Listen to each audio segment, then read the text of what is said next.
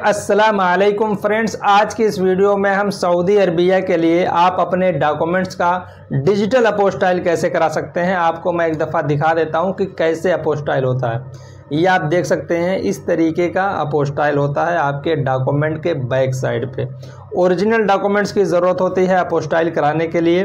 तो ये सारा प्रोसेस कैसे होता है क्या क्या डॉक्यूमेंट्स का अपोस्टाइल होता है? जैसे मैरिज सर्टिफिकेट हुआ बर्थ सर्टिफिकेट हुआ पोलियो सर्टिफिकेट हुआ, या एजुकेशनल डॉक्यूमेंट्स जैसे डिग्री डिप्लोमा हुआ, ये सारे डॉक्यूमेंट्स का आप सऊदी अरबिया के लिए अपोस्टाइल करा सकते हैं। जैसे बहुत सारे लोग अपने फैमिली को परमानेंट वीज़े पे या फैमिली विट वीज़े पे बुलाते हैं तो उन लोगों को अपने मैरिज सर्टिफिकेट का जो कि गवर्नमेंट द्वारा इशू हुआ हो तो उसका अपोस्टाइल करा सकते हैं प्लस अरबिक ट्रांसलेशन करा करके आप अपना फैमिली वीज़ा के लिए आप प्रोसेस कर सकते हैं इसके ज़रिए से।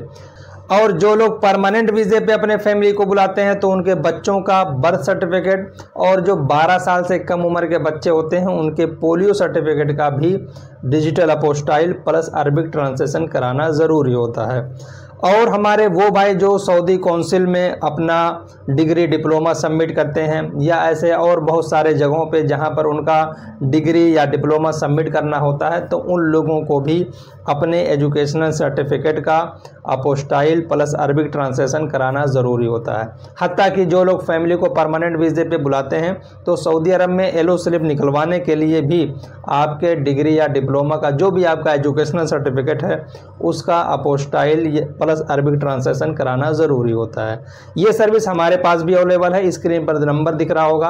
आप नंबर पे कांटेक्ट करके ये सर्विस ले सकते हैं। आपका ताल्लुक पूरे इंडिया में कहीं से भी हो, आपकी कोई भी लोकेशन हो नो मैटर आपको जस्ट अपने डॉक्यूमेंट को कोरियर कर देना है। जब आपका काम कंप्लीट हम कर देंगे, उसके बाद में आप रिटर्न कोरियर एड्रेस आप दे दें, आपके घर पे दोबारा हम रिटर्न कर देंगे। पेमेंट आफ्टर वर्क ही है, काम होने के बाद आप पेमेंट करें नो प्रॉब्लम तो अगर किसी को इसकी ज़रूरत है तो आप दिए गए नंबर पे कांटेक्ट कर सकते हैं। अब चलिए बात कर लेते हैं कि इसका प्रोसेस क्या होता है। प्रोसेस में फ्रेंड्स मैं आपको बता दूँ, ये है अपोस्टाइल तो यहाँ पर आप देख सकते हैं, पहले क्या होता है? नोटरी होता है। जो भी आपका डॉक्यूमेंट है, चाहे वो एजुकेशन सर्टिफिकेट हो, या मैरिज सर्टिफिकेट हो, या पोलियो या बर्थ सर्टिफिकेट हो, सबसे पहले उसकी नोटरी होती है। उसके बाद में जो दूसरा काम होता है, वो होता है एचडीएम का साइन या एचआरडी, ये दोनों में से कोई भी आप करा सकते हो। एचडीएम की साइन और मोहर ये बहुत ही आसानी से लग जाती है। इसके मुकाबले एचआरडी कराना थोड़ा हार्ड होता है, उसमें टाइम टेकिंग होता है।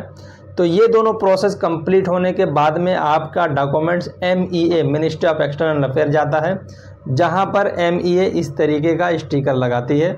क्यू आर कोड के साथ में। सऊदी अरब के जितने भी डॉक्यूमेंट का पोस्टाइल होता है, वो क्यू आर कोड के साथ होता है।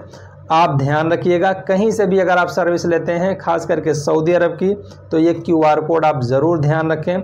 इसको जब आप स्कैन करेंगे तो ऑनलाइन आपकी पूरी डिटेल शो करेगी।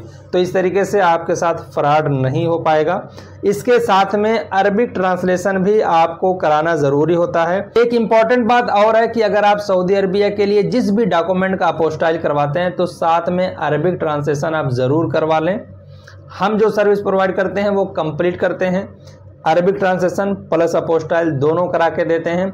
और इसमें जो टाइम टेकिंग है, दो से तीन दिन का टाइम मैक्सिमम लगता है। और कुछ ऐसे भी डॉक्यूमेंट्स होते हैं जिनका अपोस्टाइल नहीं होता तो उसको सऊदी एम्बेसी से अटेस्टेशन कराना होता है। जैसे अगर आपके पास गवर्नमेंटेड मैरिज सर्टिफिकेट नहीं है, निकाहनामा है तो इसका अपोस्टाइल नहीं होगा।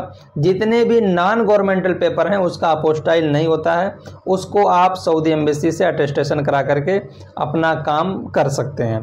तो अगर किसी को अटेस्टेशन की भी सर्विस चाहिए तो आप दिए गए नंबर पर कॉन्टेक्ट कर सकते हैं। ए टू जेड सर्विस है सऊदी अरबिया से रिलेटेड चाहे अपोस्टाइल कराना हो, चाहे अटेस्टेशन कराना हो तो आप लोग दिए गए नंबर पर कॉन्टेक्ट करके ये सर्विस ले सकते हैं। तो आज की इस वीडियो में सिर्फ़ इतना ही। इंशाल्लाह फिर मिलते हैं एक नई वीडियो में नए अपडेट के साथ। तब तक के लिए अपना ख्याल रखें। शुक्रिया जजाकल्ला खैर।